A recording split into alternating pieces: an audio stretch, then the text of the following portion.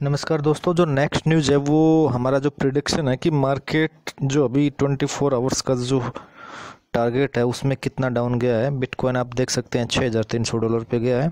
Ethereum four three six dollar पर ripple काफ़ी down जा चुका है। बिटकॉइन का सिक्स नाइन सेवन डॉलर पर जा चुका है। यूएस सेवन डॉलर के आसपास चल रहा है अभी। आइटॉन नियो मोनेरो इथेरियम यानी कि जितने भी जो करेंसी है, जो बिटकॉइन के रेट का फ्लक्चुएशन का जो इफ़ेक्ट है, वो हर करेंसी के ऊपर पड़ता है, जैसा कि आप देख सकते हैं। तो जो भी आप ट्रेडिंग करते हैं, सबसे पहले आपको कॉइन के बारे में पता होना चाहिए कि आप किस कॉइन के ऊपर ट्रेडिंग कर रहे हैं और उसका जो रेट है बिटकॉइन का जो मार्केट है फ्लक्चुएट होगा तो वो कहाँ पर जा सकता है। दूसरी जो करंट न्यूज़ है, उसके बारे में हम डिस्कस करेंगे। कि बिटकॉइन कैश का जो रेट है वो काफ़ी हद तक डाउन जा रहा है। इसके पीछे का जो मेन रीज़न है बिटकॉइन का जो प्राइस है वो फॉल कर रहा है।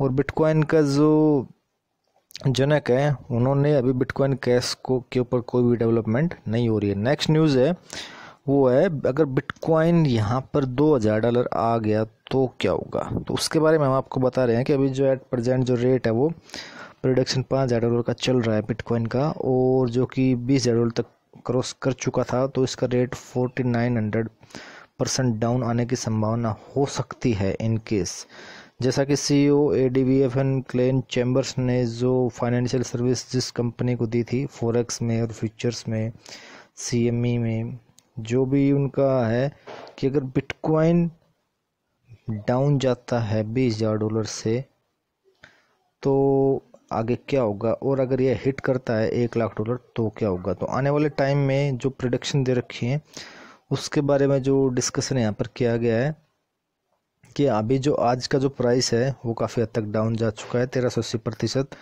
और ये इसकी संभावना four nine double zero percent तक जा सकती है डाउन में। यानी कि यहाँ से मेन न्यूज़ निकल के यह आ सकती है अपने पास, कि दो हज़ार डॉलर तक जा सकता है मिनिमम ठीक है गाइस और बीस हज़ार डॉलर तक ऑलरेडी ये जा चुका था।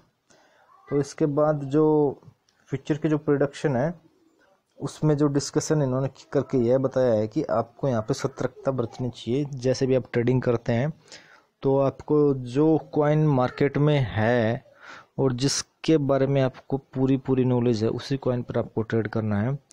और अभी जो बिटकॉइन की जो शॉर्टेज है, वो काफ़ी चल रही है, क्योंकि काफ़ी जगह पे हैकिंग हो चुकी है। तो हैकर्स ने जो बिटकॉइन है, वो स्टोर करके रखा हुआ है।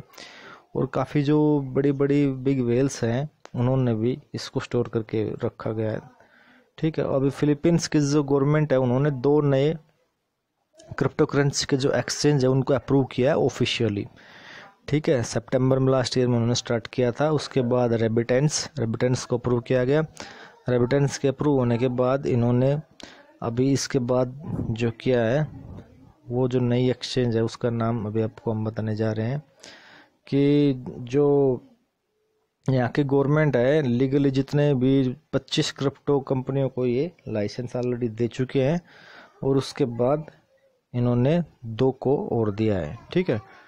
तो आपको इन जो एक्सचेंज है, यहाँ पे ट्रेडिंग करते हुए आपको सावधानी बरतनी पड़ेगी कौन सी एक्सचेंज लीगल है और कौन सी इलीगल है, ठीक है गाइस तो नेक्स्ट जो बेटूर है कॉइन पीएच है और रेबिटेंस लास्ट में रेबिटेंस को उन्होंने अप्रूव किया है और ये बाकी की जो बेटूर क्वाइंस पी पहले के एक्सचेंज है, इस तरह से यहाँ की गवर्नमेंट ने इन दोनों एक्सचेंजों को अप्रूव किया। तो दोस्तों, इस चैनल के साथ आप बने रहिए। आपको करंट न्यूज़ क्रिप्टो करेंसी से रिलेटेड मिलती रहेगी। Thank you